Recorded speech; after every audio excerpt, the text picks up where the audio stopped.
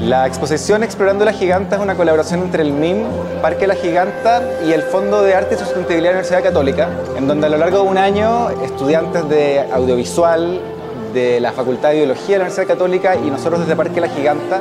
registramos la vida de los seres que habitan este parque durante la estación seca y la lluvia. En esta exposición vamos a poder ver una instalación que cuenta la historia de plantas, animales, musgos, hongos. Esta colaboración con el MIM nos permite juntar artes y ciencia para entregar un producto de educación ambiental de calidad y que le hable a nuestros visitantes de, los contextos más cercanos donde vivimos, de la vida en los cerros de los que habitamos aquí en el Valle Central, de las historias de plantas y animales que muchas veces no son percibidos. Aquí en esta exposición, gracias al MIM,